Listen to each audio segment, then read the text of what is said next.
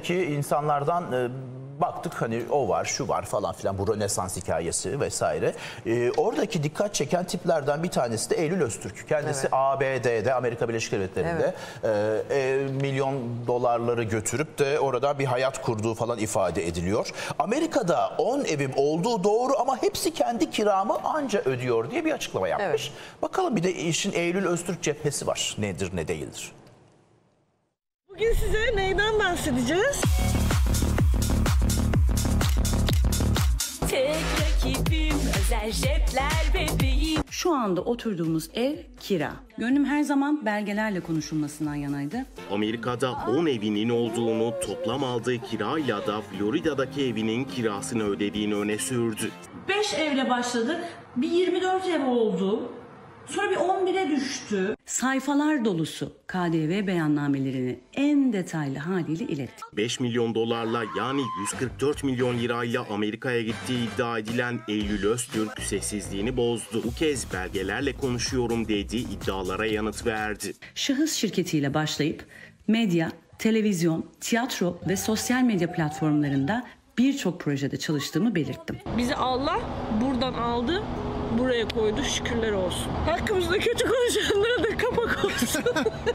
Eylül Öztürk Güzellik Merkezi iddialarına da yanıt verdi. Kendime ait bir merkez yok ama hepsi isim hakkı dedi. Sen çırpına dur ben yoluma bakarım. Kendi adımıza herhangi bir güzellik merkezimizin olmadığını, toplamda 10 adet şubemizin hepsinin franchise olduğunu, devir gibi bir durumun zaten olmadığını en detaylı haliyle ilettik. Sosyal medyada dolaşan iddiaya göre o güzellik merkezlerinin birkaçıyla da yollar ayrıldı. O merkezler müşterilere mesaj gönderip yeni isimle işlerine devam ettiğini duyurdu. Tüm zarar ziyanım hesabı benden Konu Amerika'daki evlere gelince fenomen ilginç bir açıklama yaptı. Amerika'da 10 evi olduğunu doğruladı ama bunları 4 yıl önceki kurla 160, 170, 180 bin lira gibi rakamları aldığını söyledi. Bendeki dalgaya fırtına yetmez. 2019 yılında dolar o günkü kuru ile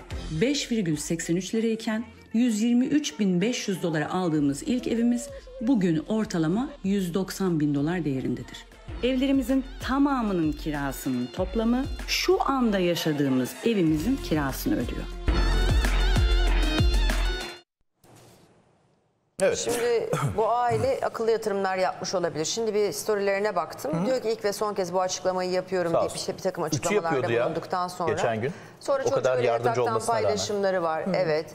İşte e, bir takım söylemleri var. İşte ahını insanın nam, e, değil mi masum insanın günahına girenler mutlaka ah O Allah'ın emri zaten öyle vesaire. açıklamalar. Bir takım açıklamalarda bulunuyor ve yani hayatına yine paylaşımlarına devam ediyor. İşte online üzerinden satışlar falan tavsiyelerde bulunuyorlar ya. Yaşamında pek değişen bir şey yok. Kendime son derece güveniyorum ve ben bu konuda haklıyım diyor. Gelsin Ee, araştırsınlar evet. hatta vesaire vesaire, Vesaire. var. Bütün ya geçen gün o kadar söylüyor. yardımcıları var. Hatta takipçiler yazmış son ütücü diye. Ütüsünü kendi yapıyor falan filan. Hani kimileri de gidiyor hani hadi gel köyümüze geri dönelim. Orada hani şey çiğ köfte Ama falan Amerika'da yapıyorlar. öyle yardımcı hikayesi biraz ya da yurt dışında diyelim özellikle. Buradaki gibi hani böyle kolay ulaşılabilir bir şey değil senin yardımcı. Ablacığım gel bugün evi beraber temizleyelim Ama var. hikayesi. Orada çok yok saatlik gidiyorlar. O da böyle dolar dolar dolar bazında. Ama yapıyor hani yani. verebiliyor mudur? Ha, orası Hayır tartışılır orada bir ama hayat kuruyorsan 4-5 yıldır bu para nereden geliyor mesela? Amerika'daki işi ne onu merak ederim ben. Evdeki kiralarını İyi de, veriyorlar. Bir de aynı diyor? zamanda Türkiye Bak. ile baksana şeyi bitmemiş ki. Yani e, diyaloğu da o zaman o da hala fena bir satıyor. şey yani hani e, şimdi zamanında ben şimdi zamanını konuşuyoruz. 144 milyon lira gitti mesela götürdü. Nasıl ne şekilde 5 milyon lira keş keş balya balya paraları da aldı değil mi? Atladı gitti hani geleceği gördü. Be- e, Burada bir şey olmaz artık falan filan ya da çocuklarımı Yani orada ne okutayım falan düşündüyse, filan gibilerinden her neyse. Götürdü ve e, orada bir yaşam kurdu. İşte 5 evden 10 24'e çıktık. Şimdi 11'e indik falan filan. Önemli olan evin sayısı değil. Hani Central Park'ın orada alırsın bir tane 50 milyon Ya, dolar mutlaka ödersin. değil. Miami'nin köyünde alırsın. Evet. 50 bin dolar Belli ödersin. ki öyle. Daha düşük belki de tadilata ihtiyacı olan evleri alıp renove edip satıyorlar. E, Ya da kiraya veriyorlar. Bunlar tek odalar olabilir. Bir artı birler olabilir. Ya daha olabilir, küçük evler olabilir. olabilir Tabii ki. Benim sormak her neyse, istediğim şu. akıllıca bir şekilde bunlar karı koca kafaya koyup bu evleri almışlar ve diyorlar ki biz bunu dolar düşükken ve ortamda böyle bir açık durum varken biz bunu faydalandık ve yaptık.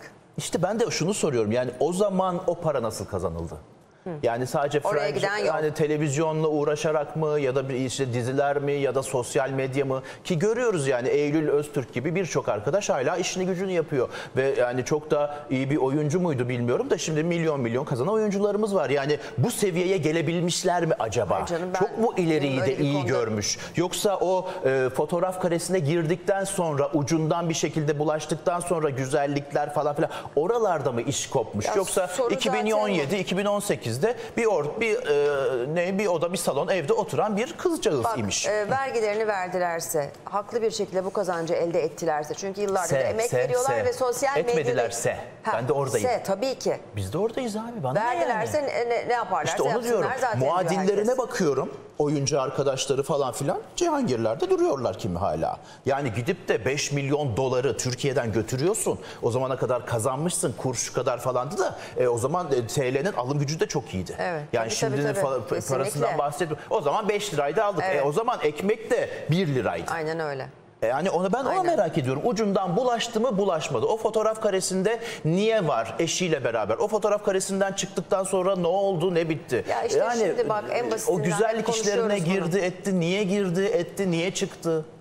Bak şimdi isim isimlerini değiştiriyormuş mesela. Evet. Ne bu Eylül, Eylül bilmem ne diye başka bir isim altında çalışanları şu su bu su hepsi E, aynı devam insanlar ediyormuş. sonuçta kötü bir reputasyon var orada yani o ismi Hayır bunu Eylül kendisi hani mesajlarla falan filan ge- getiriyormuş yani. Ya anladığım o. iddia edilen o ya da ortağı her neyse. Evet. Yani hakkında bir araştırma var mı? O zaman bu para nasıl kazanılmış? İşte buradayız. Yoksa şimdi ve Amerika'da buradan liraları kazanacaksın. Orada böyle bir hayat yaşayacaksın. İki yardımcılı bilmem neli falan filan. Bu iş nasıl oluyor arkadaş? Ben bunu merak ediyorum. Ya muhtemelen şimdi diyor ki o kadar 11 tane evimin kirası şu an oturduğum evimin kirasını bile ödemiyor diyor. Dolayısıyla yaşamak için bir gelir elde ediyor olmaları lazım.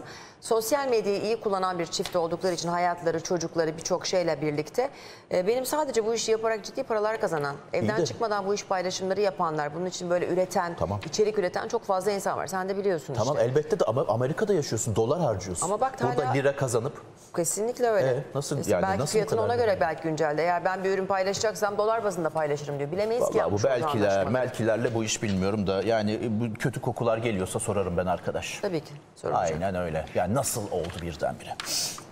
Hadi bakalım Aynı kadro, buyurun. aynı bilmem ne.